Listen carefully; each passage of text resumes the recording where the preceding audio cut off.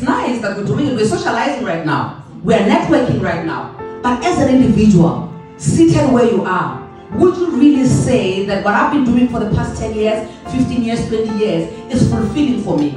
And if I were to die right now, my last word would be, I have lived.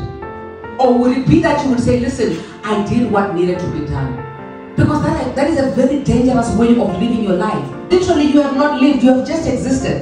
If you've been doing a routine because that's how it's been done before you were born, that's how it's being done right now, that's how well behaved women do, then I believe the reason why we are seated here, the women of 1956, are a good example to say, listen, you don't always have to do things the way others have been doing them for you to fit in, for you to be loved. It's okay for you to have five people to love you as long as you're doing that which is fulfilling for you.